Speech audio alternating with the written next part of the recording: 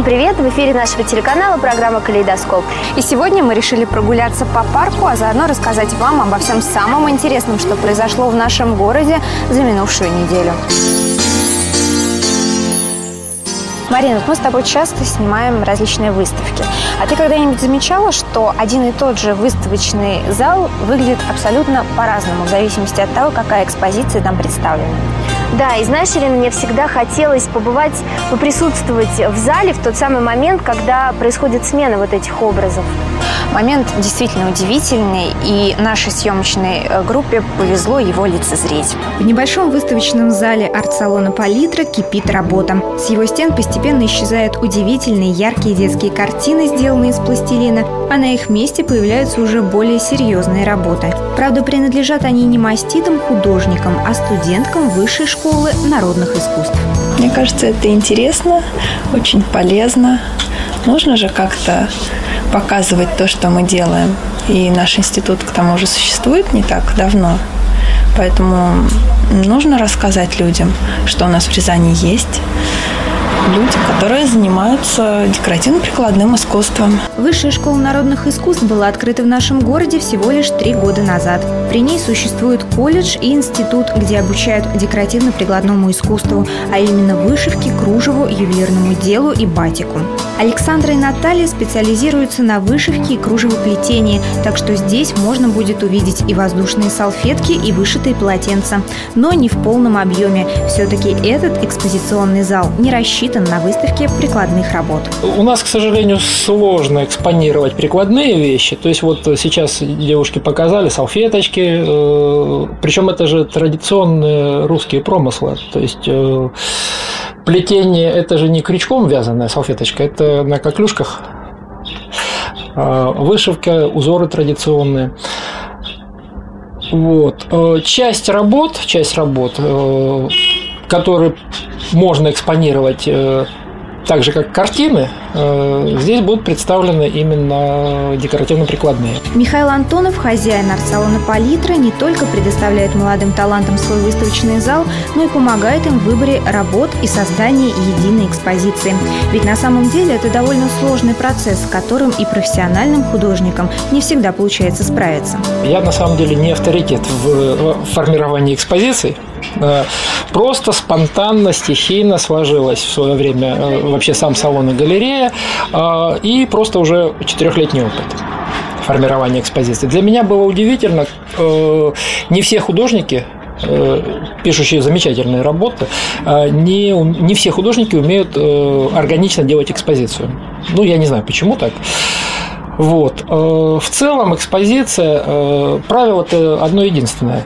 Она должна восприниматься как цельное, что-то цельное единое пространство. Ну вот, работа над выставкой окончена и настал черед ее открытия. Несмотря на специализацию девушек на кружевоплетении и вышивке, в основном здесь оказалась представлена живопись, ведь без знания ее основ невозможен ни один вид художественного творчества. Мне кажется, это неразрывно связанные вещи, потому что ты не можешь сплести кружево, когда ты не можешь его нарисовать. То есть мы же сами придумываем и узоры, и сколки, и по нашим же же эскизом мы делаем работу уже. То есть мы не берем какие-то чьи-то работы, а делаем свои, авторские, поэтому они получаются у нас. Вот, а живопись мне очень нравится заниматься, и в дальнейшем хотелось бы тоже ей заниматься. И вообще, это, мне кажется, отдых для души. Организаторы отметили, что на выставке царит атмосфера творческого поиска, ведь Александра и Наталья только-только начинают свой путь, ведущий в мир искусства. Но в том, что их ждет успех, не сомневаются даже именитые художники. Марина, ты заметила, что это лето какое-то более динамичное, чем прошлое, несмотря на то, что сезон отпусков и вообще лето сезон мертвый. Все равно культурные заведения продолжают нас радовать своей активной деятельностью. Да, и в связи с этим предлагаем нашим телезрителям посмотреть на еще одну выставку, которая открылась в художественном музее. Вновь в залах Рязанского художественного музея царит таинственная атмосфера Востока. Более 50 полотен известного московского художника, подобно нотам, объединяются в единую восточную мелодию. Именно такое название носит очередная выставка Анны Мухаммеда Зарипова С именем этого художника и коллекционера рязанцы уже знакомы. Три года назад здесь же, в стенах художественного музея, прошла выставка Анна Мухаммед Зарипов в искусстве 21 века или Зарипов в кругу друзей. На ней была представлена часть коллекции художника, включающая в себя его портреты, выполненные его же учениками и друзьями, а также автопортреты. С тех пор рязанцы запомнили московского мастера восточных кровей, ну а он, как выяснилось, полюбил Рязань. Я очень многих музеях э, показываюсь и за рубежом и так далее. Вот. Послед... Одни из последних, вот Русском музее было. Но вот, как ни странно, Рязанский музей каким-то самым родным мне остается. Анна Мухаммед Зарипов родился в туркменском ауле близ руин древнего Мерва, крупнейшего города античного Парфянского царства, через который столетиями проходил Великий Шелковый путь. Яркие впечатления детства сформировали его художественные мироощущения и впоследствии явились главным источником вдохновения. И хотя художник на протяжении долгого времени не был на родине, ее образ продолжает жить не только в его сердце, но и на его полотнах. Искусствоведы говорят, что своеобразие искусства Зарипова заключается в тесном переплетении гармонии восточной и западной культур. Сам же автор считает, что ему повезло, ведь жизнь подарила возможность соприкоснуться с двумя разными мирами и соединить их в своих работах. Понимаете, я вырос все время в древнем, в древнем глуши в ауле, в Туркмении. Я, конечно, ни русского языка не знал тогда, ни, ни что такое русский. Э, ну, мы знали, что жили русские, но это, знаете, вот сейчас это газодобывающие места, где в Туркмении, в пустыне мы выросли. Вместе с Нас в семье 10 человек, вы представляете? И, и конечно, бед, беднота, мы пасли коровок, за верблюдами бегали и, и все такое, и все такое. И потом вот мне как-то посчастливилось вот так вот как бы на учебу попасть в Ашхабадское художественное училище. Потом я закончил с отличием. И в АВГИК, Всесоюзный государственный институт кинематографии, на художественный факультет. Просто мне по жизни повезло, понимаете? Вот, поэтому вот это а здесь я чувствую продолжение вот этой любви, связь с Россией и Туркменией. А я очень люблю показывать контраст э, туркменские вещи, потому что Понимаете, все все равно чувствуют, что это с любовью сделано. Автор привык работать с цветом, и именно благодаря оригинальным цветовым решениям каждая его картина обладает особой атмосферой, погружаясь в которую зритель может прочувствовать невероятную палитру эмоций от светлой грусти до бурной радости. Мне кажется, что они, во-первых, очень позитивные, радостные. Вот это идет, в общем-то, еще из его таких восточных вот, корней. А, несмотря на то, что достаточно трудно у человека было детство, достаточно бедный, послевоенный, но тем не менее, это, видимо, такая вот уже натура у него оптимистичная. Он всегда внушает оптимизм, и его работы тоже. На открытие выставки вместе с Анной Мухаммедом Зариповым приехали и его ученики, чтобы поддержать своего учителя и выразить свою благодарность. Ведь, по их словам, обучение у мастера доставляет им только удовольствие. У Анны Мухаммеда э, на самом деле какой-то свой удивительный э, стиль обучения. Он ничего не, общего не имеет с традиционным обучением рисованию обучению, когда приходят, поставят там какой-то предмет и показывают, как вот его надо классически рисовать. Потому что при такой системе обучения работы получаются ну, почти одинаковые, потому что всех вот учат, вот это надо видеть так. У Анны Мухаммеда совершенно другой подход. Он создает в своей мастерской некую атмосферу, вот атмосферу какой-то вот такой энергии творчества, энергии созидания. Выставка Анны Мухаммеда Зарипова будет работать в Рязанском художественном музее до 15 сентября, так что спешите окунуться в эту неповторимую атмосферу Востока. Знаешь, у меня такое чувство, что июль забыл, что он июль. Ему кажется, что он сентябрь. Мне, ну, правда, холодно. Зябко, да, и в такую погоду особенно хочется куда-то к теплым берегам, например, в Доминиканскую республику, на песочек. Кстати, совсем недавно оттуда э, приехала ну, достаточно известная в нашем городе фотограф. И вот она согласилась поделиться с нами своими солнечными впечатлениями. Кусочек жаркой далекой Доминиканы в одном из самых необычных, по крайней мере, для Рязани мест – в антикафе «Джой». Изначально интерес у нас вызвало само заведение, хотя в таких городах, как Москва и Санкт-Петербург, антикафе явление уже привычное, в нашем городе не каждый знает, что это такое и по каким правилам работают подобные заведения. А правила довольно просты. Вы не платите денег за еду, которой тут, впрочем, и нет. Но можете принести что-то с собой или же абсолютно бесплатно выпить чай, кофе, закусив сладостями.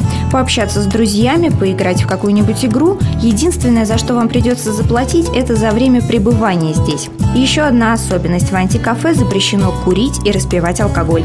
Но можете быть уверены, здесь вы точно найдете, чем себя занять. У нас есть э, постоянно периодически такие мероприятия. Например, по вторникам у нас клуб английского языка где каждый желающий может прийти и потренировать свои навыки английского. При этом я считаю, что это самое дешевое владение английским языком. Я думаю, что очень полезно было бы узнать многим живущим в городе. А затем у нас э, проводятся игры в мафию каждую пятницу или субботу и э, танцы бачата. Также у нас э, ну, раз в 2-3 недели проходят выставки художников или фотографов. И Вообще, в принципе, очень много различных мероприятий и мастер-классов. Кстати, сейчас здесь готовится к открытию одного из таких мероприятий – выставки самой Камилы Измайловой «240 дней Доминиканы». Это своеобразный фото и видеоотчет о восьми месяцах, проведенных в этой прекрасной стране. И хотя Камила там не отдыхала, а трудилась, причем иногда без выходных, фотографировала она, похоже, не переставая. Хотя в ее случае одно другого не исключает, она же фотограф.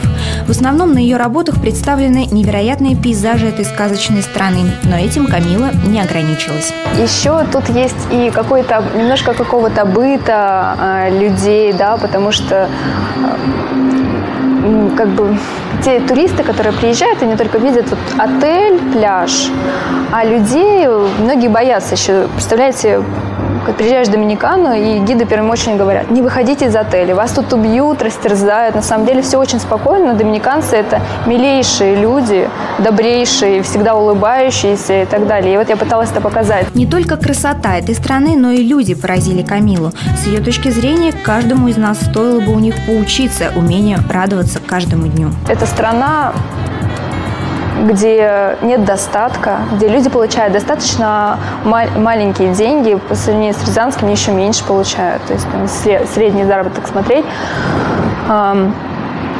И при этом они счастливы, всегда улыбаются, у них все хорошо. Они никуда не торопятся, они не психуют, когда ты едешь и не можешь там проехать, э, они говорят, аж куда ты торопишься, зачем? Все же небо, солнце, песок, море, что тебе еще надо? Камила призналась, что после восьми месяцев, проведенных в работе на юге Доминиканы, она готова была без сожаления уехать оттуда. Но все изменили последние четыре дня ее пребывания в этой стране, проведенные на севере. На севере очень интересная природа и очень активный образ жизни, потому что там основные, ну, допустим, вообще Доминикану окружает Карибское море Атлантический океан. А так вот, на севере океан, он более буйный, там много волн, там много серферов, кайтеров и невероятные, в общем, местности, когда и горы, и океан бушующий, и песок, просто ну, совсем другое ощущение от Доминиканы. В общем, мы вот об этом хотели рассказать, что на самом деле Доминикана не на юге, на юге курорт, а вот э, на севере вот дух Доминиканы, душа Доминиканы. Путешествие по миру – это не только яркие впечатления и медный загар, но и неповторимый опыт, который порой может изменить всю нашу жизнь.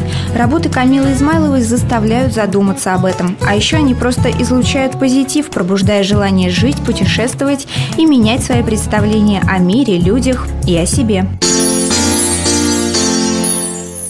Ну что ж, а на этом наша программа подходит к концу. Увидимся с вами ровно через неделю в калейдоскопе новых интересных событий. До встречи. Эксклюзивно. Только в салоне красоты Византия. Биозавивка и долговременное выпрямление волос ProShape от Italy Hair Fashion. Ультрамодная гладкость или дивные локоны. Теперь выбираешь ты. Салон красоты Византия. Площадь Полетаева, торговый центр Кристалл, второй этаж. Телефон 99 26 92.